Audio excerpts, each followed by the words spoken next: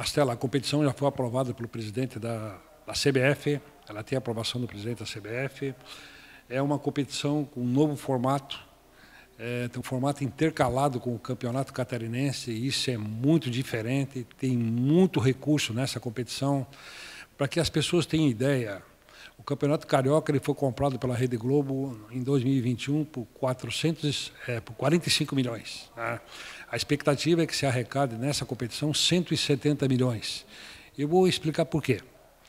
É, então, é, essa região é Minas Gerais, Minas Gerais, Paraná, Santa Catarina Rio Grande do Sul tem o maior IDH do Brasil, o mais alto IDH do Brasil.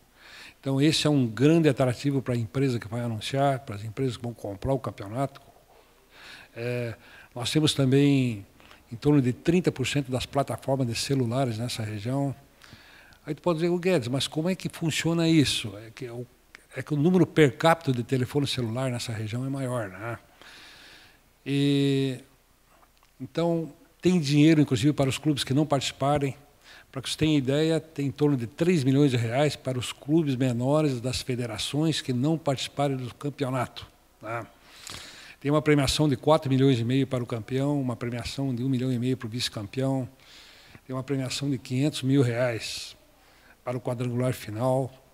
E para os clubes participantes, no caso o Criciúma, que estaria na, no grupo D, em torno de 3 milhões de reais com uma competição de três meses e meio.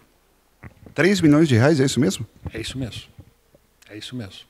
Essa competição é de janeiro a abril, como é que funciona? A competição deverá iniciar dia 15 de janeiro e vai até maio. Né?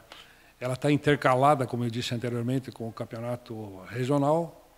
E o que tem de importante nisso é que ela é, não vai despressurizar, não vai desvalorizar, ela vai sim valorizar os regionais. Né?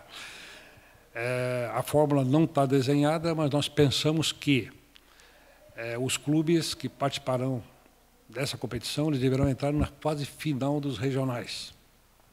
Presidente, por que, que o Criciúma participa da Copa Sul Minas? É ranking, é tradição, é história, é imposição que fez? Como é que foi?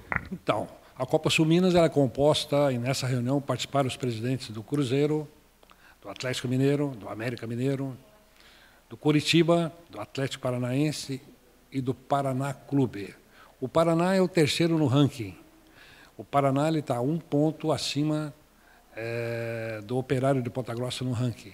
Santa Catarina, Chapecoense, Havaí e Criciúma, e Rio Grande do Sul, Internacional, Grêmio e Juventude o Criciúma participa pelo ranking. Lembrando que é, na próxima competição muda um pouquinho a forma do ranking. Tá? É, mas está se estudando também a possibilidade do, do campeão e o vice da Sul Minas abrir uma vaga para um torneio, para um campeonato internacional sul-americana, ou de repente Copa do Brasil. É uma forma, é uma fórmula hiper interessante, expectativa de arrecadar 170 milhões tem que colocar o cheque na mesa, é, Sport TV, tem que botar o cheque na mesa, Rede Record, SBT, ou mesmo Amazon Prime, né, que está no negócio.